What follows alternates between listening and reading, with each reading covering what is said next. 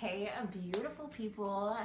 So I feel inspired to record this video as I've gotten some questions from just some of the people that follow me around free birth. But today I wanted to specifically focus on just some of the things that I purchased to have this free birth.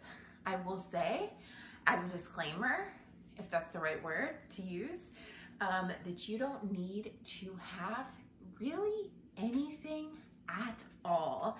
These are just a few things I wanted to have as my plan is to have my baby girl here in our apartment and just kind of as a way of to prevent some mess.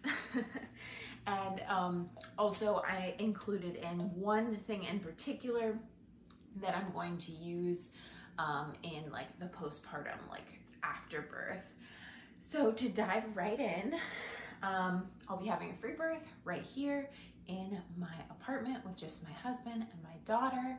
And um, yeah, I'm gonna deliver this baby all on my own, just with the support of my husband um, and the support of all of the resources and research that I have poured my heart and soul into for the last almost 20 weeks of my life. Um, so one of the things that I did go ahead and get were just some Chux pads. they came in a 100 pack. So I'm also going to be using these after birth to like lay on my bed, to free bleed instead of having to worry about putting on the diaper and all the pads and all the ice packs. And I really just want to keep it super simple. It was so frustrating and kind of stressful to constantly be changing out the pads and so wasteful too. Obviously these are wasteful too, but I view it as a, a, a, lot more gentle way of just like setting some pads down on my bed, on the couch, wherever I will be sitting or lying while breastfeeding um, as a way to just soak up any of the blood and fluids that will be coming out after birth as well as during birth. So I'm gonna have them set up in a, several locations throughout the apartment just because I don't know, you know, where I'm going to actually end up delivering this baby, whether it be on the bed, in the bathroom, maybe I'll do it in the tub. I wouldn't need the Chux pads there, but I'm just gonna have them set up in several locations throughout the bed, throughout the apartment to, yeah, just prevent mess as much as possible. Obviously, mess is a mess. You could just clean it up. It's not that big of a deal, but I definitely want to set them down over the rug if that's where it ends up happening, um, or like over the bed to just hopefully prevent destroying our bed. but it is really old bed anyway, so who cares? Um, so I got that. And then these are some candles. Um, I looked so hard for 100% soy wax non-toxic candles and I wasn't able to find them as I'm vegan so I really just try to purchase everything that's vegan. This is like the first non-vegan thing that I've purchased. They're 100% beeswax candles.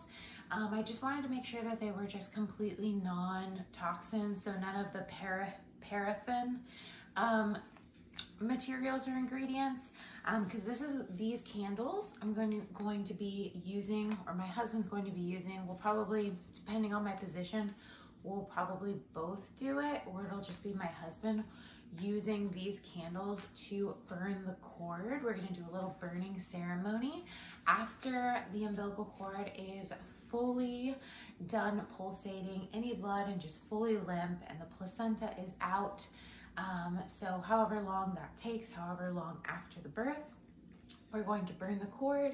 Um, burning the cord, some one of the main pluses to this, I feel like it's a more gentle method rather than cutting. Um, although I don't have anything against cutting the cord as well. Um, but I like the fact that it cauterizes it and you don't have to worry about using a clamp. So um, I'm going, we're going to be burning the cord and then just tying it off in a knot, waiting for it to dry up completely and fall off naturally. Um, so yeah, that's what these candles are for.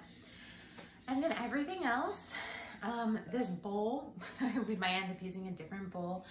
This is what we're going to burn the cord over just so any of the wax drippings can drip directly into the bowl, prevent some mess, um, and we'll probably just use like this cloth, um, maybe a piece of foil. We're gonna do it far enough away from her so she won't feel any of the heat. Um, and definitely one of the things that we will also be doing is um, just kind of like pinching the cord to make sure that she doesn't react, um, which she shouldn't because once the blood fully stops pulsating, she shouldn't feel um, anything that we do to the cord. Um, but yeah, just as a precaution, we'll cover, we'll have her covered with this, um, just this little blanket. And then he will hold both of the candles, burn the cord over this bowl. And I've heard it takes anywhere from like 10 to 15 minutes, um, just depending. And yeah, I heard that as you pretty much don't have, there isn't any smell except for the smoke from the candle. So we're gonna make sure the fire alarm is unattached because we have a very sensitive fire alarm. Um, so yeah, that's super simple. Just a bowl, candles, Chux pads, a little muslin cloth um, to keep her warm as well as just shield from any of the heat she might feel from the candle. And then literally I just set these here just to remember to go over them. Just some old towels um, I'm sure we'll end up using to like clean stuff up. And then these other two things aren't directly like related to free birthing. They're just some things that I want to try throughout labor that worked a little, that I noticed working a bit in my last labor. Combs, um, pressing them in to your um, acupressure points on your hands. Um, that has helped a lot of people during contractions. Obviously, mostly I'm going to be dependent on my breath and the ability to move in whichever way feels best through these contractions.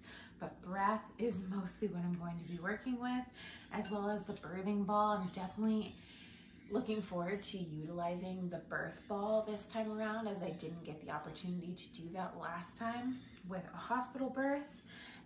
Then for after birth contractions, I kind of just wanted to slide this in. This doesn't really have anything to do with free birth, um, but I picked up these after birth contraction um, contractions tincture. It's an herbal supplement that a lot of women swear by when it comes to having afterbirth contractions, which you don't typically experience in your first pregnancy or your first labor and postpartum, which I did not. Um, but I'm expecting to experience them with this um, postpartum experience. So I have these just in case you put like five to six drops or so into, or eight pumps, I guess this one, into your water. And so I will definitely be utilizing this and hopefully it will help with any afterbirth contractions that I start to feel shortly after the labor and delivery. So yeah, just those few things. Um, I really can't, I was trying to scratch my head to think of anything else I would be using. I obviously didn't show you my birthing ball, but I talked about it. I'll definitely be utilizing that probably in earlier labor, maybe all throughout labor if it's feeling really good. The tub, um, I'll definitely probably be utilizing that. I don't have like a big deep tub or anything, so I'm not expecting to actually deliver in the tub unless it just happens that way. Um, but I've heard getting into the shower and just running hot water on your back can be really helpful. Again, I didn't have the opportunity to really utilize any of these tools in my last labor and delivery because we rushed to the hospital, ended up getting an epidural and being hooked up to a monitor, and I was literally just glued to a bed. Um, yeah, dealing with the contractions. so I'm really looking forward to a much more calm, natural, physiological experience um, that I have full control over. So those are just the few things that I wanted to kind of go over. You really, like I said, don't need anything at all. Women have been doing this since the beginning of time. And I think it's just so important to trust your body, um, birth is one of the most natural things. um, in the world. And so it's just really important to trust your body. And yeah, I'm just hoping for a very safe and beautiful and calm birth and delivery. And of course, most importantly, a healthy baby and a healthy mama.